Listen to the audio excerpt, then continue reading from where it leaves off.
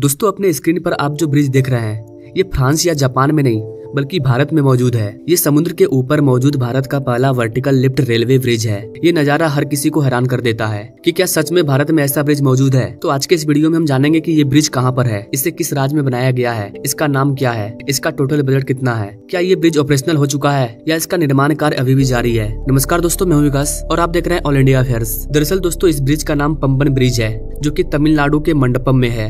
Pamban Iceland पर स्थित रामेश्वरम को मंडपम से जुड़ने वाले इस रूट का उद्घाटन कुछ महीनों में किया जाएगा और प्राइम मिनिस्टर मोदी इसका उद्घाटन करेंगे। इस ब्रिज को रेल विकास निगम लिमिटेड के द्वारा 535 करोड़ रुपए की लागत से बनाया जा रहा है, जो कि पुराने पंबन ब्रिज के पैरेलल होगा। नए पंबन पुल का 90 प्रतिशत काम पूरा हो चुका है। साल 2019 में प्राइम मिनिस्टर मोदी ने इसकी आधारशिला रखी थी और तभी से इसका निर्माण कार्य जारी है। नए पंबन ब्रिज को इस तरह से डिज़ाइन किया गया है कि फ्यूचर में डबल रेलवे ट्रैक और इलेक्ट्रिफिकेशन का काम किया जा सके। आपको बता देगा इसकी इस ब्रिज की लंबाई दो किलोमीटर से ज़्यादा होगी। इसमें 18.3 मीटर लंबा गार्डर और 99 स्पेन होगा। इस ब्रिज की सबसे बड़ी खासियत इसका वर्टिकल लिफ्ट है। जो कि नावों को आसानी से ब्रिज के नीचे से गुजरने में मदद करेगा। इस वर्टिकल लिफ्ट स्पैन में एक इलेक्ट्रोकेमिकल कंट्रोल इंटरलॉक और ट्रेन कंट्रोल सिस्टम लगाया गया है। शिपिंग ट्रैफ़िक को पास करने के लिए ट्रेन को रोक दिया जाएगा और जहाजों के गुजरने के लिए नेविगेशनल स्पेन ऊपर की ओर बढ़ेगा। फिर शिप के दूसरी ओर जाने के बाद इसे वापस नीचे लाया जाएगा और फिर ट्रेन को रास्ता दिया जाएगा। यहाँ आपको बता देगा इसकी यह ब्रिज पुराने पंबन ब्रिज से तीन मीटर ज़्यादा ऊँचा है। पुराने पंबन ब्रिज को सेजर स्पेन के ज़रिए मैनुअली ऑपरेट किया जाता था।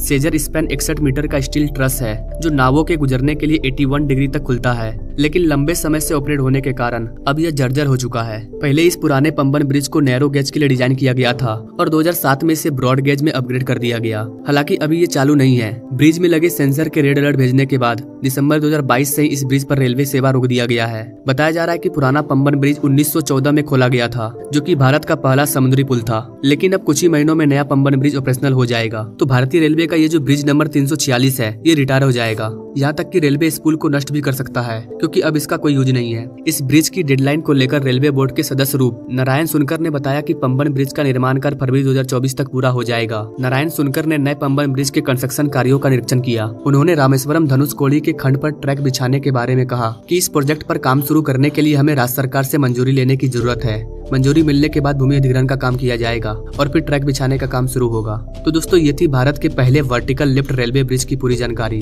दोस्तों, यह भारत का पहला समुद्री ब्रिज था, जो कि अब बंद हो चुका है, और इसी के जगह पर भारत का पहला वर्टिकल लिफ्ट रेलवे ब्रिज तैयार कर लिया गया। तो गैस अब ये कहना गलत होगा कि भारत अब विकास नहीं कर रहा है। भारत की जो इंफ्रास्ट्रक्चर है, वो तेज़ी से विकास कर रही है। चाहे वो रेलवे हो, पोर्ट हो, एयरपोर्ट हो, एक्सप्रेसवे हो, भारत के हर इंफ्रास्ट्रक्चर को तेज़ी से बढ़ाया जा रहा है और लगातार नए नए प्रोजेक्ट भी लॉन्च किए जा रहे हैं। तो दोस्तों, आपको क्या लगता है, फरवरी 2024 तक इसे पूरा कर लिया जाएगा?